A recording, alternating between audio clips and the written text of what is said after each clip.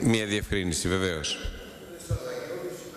Η ένστασή μου ήταν πολύ σαφής. Δεν μπορεί νομίζω κανένας βουλευτής του Κοινοβουλίου να χρησιμοποιεί θεσμούς όπως είναι η Τράπεζα της Ελλάδος ή ο ESM επικαλούμενοι κάτι το οποίο ούτε ο ένας οργανισμός ούτε ο άλλος το έχουν πει ποτέ. Δεν υπάρχει καμία έκθεση, κανένας έγγραφο, κανένα στοιχείο που να θεμελιώνει αυτό. Έχουν διατυπωθεί, επαναλαμβάνω αυτή η εντύπωση, από sites που έχουν παρερμηνεύσει δηλώσεις ή συζητήσεις που έχουν κάνει οι πρόεδροι αυτών των δεσμών. Το θεωρώ αδιανόητο ότι εδώ στο Κοινοβούλιο κάποιος επικαλείται την Τράπεζα της Ελλάδος για να στηρίξει ένα τέτοιο επιχείρημα. Δεν υπάρχουν αυτά.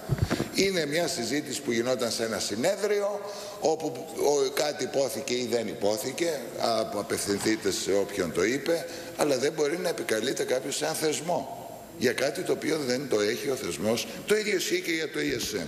Γι' αυτό ήταν η ένστασή μου στο επιχειρήματα της Νέας Δημοκρατίας να επικαλεστεί την προσωπική γνώμη αν τη θεωρούν σίγουρη, που εγώ δεν τη θεωρώ, του Προέδρου του ESM ή του Προέδρου της Τράπεζας της Ελλάδος και αυτή δεν τη θεωρώ σίγουρη, αλλά καλό είναι να κρυβολογούμε. Δεν μπορούμε να συγχαίουμε αυτά τα πράγματα. Ευχαριστούμε. Όχι, δεν έχετε το λόγο.